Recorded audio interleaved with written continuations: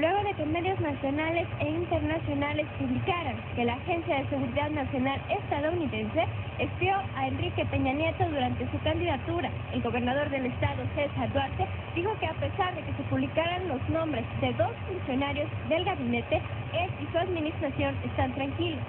Los dos funcionarios mencionados en el llamado mensaje de interés fueron el actual vocero de gobierno, Juan Ramón Flores, y el secretario particular, Miguel Ángel González, y en el texto emitido es poco legible y contiene algunas partes suprimidas deliberadamente.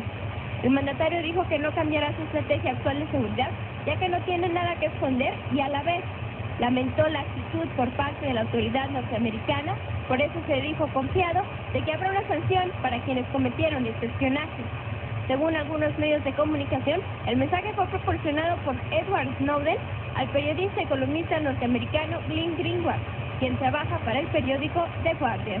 Es inaceptable que la manera en la que se han filtrado y distorsionado una cantidad importante de eventos en el mundo y que hoy afectan precisamente al presidente Peña e, incluyen al estado de Chihuahua, eh, se ve de esa forma.